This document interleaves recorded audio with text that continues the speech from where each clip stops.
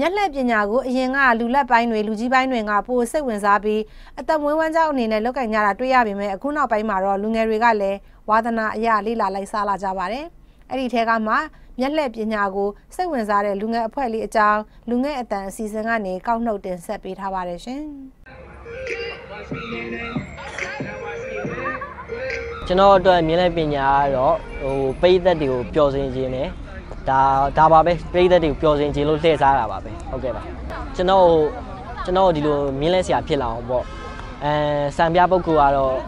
ကဘာကျော်မြင်လဲပညာရှင်ဒေးဗစ်ကိုပါဖြစ်ပါတယ်သူရဲ့ကျွန်တော်ကတခြားမြင်းလေးထက်ဆိုင်သူ့ရဲ့မြင်းလေးတွေကိုအရန်သဘောကျကြအဲ့ဒီအတွက်ကြောင့်သူကတော့ကျွန်တော်ရဲ့စံပြပုဂ္ဂိုလ်ဖြစ်ပါတယ်အသက်ကြီးလာလို့ရှိရင်ပေါ့ကျွန်တော်ဒီပညာကိုလည်းဆက်လက်သင်ကြားမယ်ကျွန်တော်မြင်းလဲကိုလည်းဆက်လက်သင်ယူပြီးတော့ကျွန်တော်အဲနှစ်ခုလုံးကို balance ဖြစ်အောင်ပေါ့ကျွန်တော်စူးစမ်းသွားမှာပါ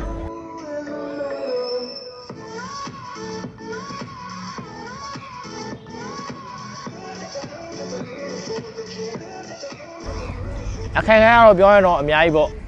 ကျွန်တော်စပြီးသင်ယူရတော့ဆရာကြီးစကောမရှိကနေစတင်သင်ယူရပါတယ်သင်ယူပြီးတဲ့အချိန်မှာလည်းအခက်အခဲမျိုးမျိုးပေါ့လေ့ကျင့်တဲ့နေရာမှာပြကွက်တွေမှာတချို့နေရာတွေမှာအခက်အခဲတွေပြကွက်မပြီးပြင်းတာတွေပြီးတော့တချို့အန်ဒီရများတဲ့ပြကွက်တွေမှာလည်းမီးနဲ့ပတ်သက်ပြီးတန်းရတဲ့အမျိုးမျိုးရရှိခဲ့ပါတယ်အဲရှင်းဆက်ပြီးတော့ကျွန်တော်မြန်မာ Emerging Entertainment အဲခေါင်းဆောင်အနေနဲ့ပေါ့ကျွန်တော်သူများနဲ့မတူညီတဲ့ မျက်လက်ပြကွက်တွေကိုကျွန်တော်ထပ်ပြီးတင်ပြပေးမှာပါ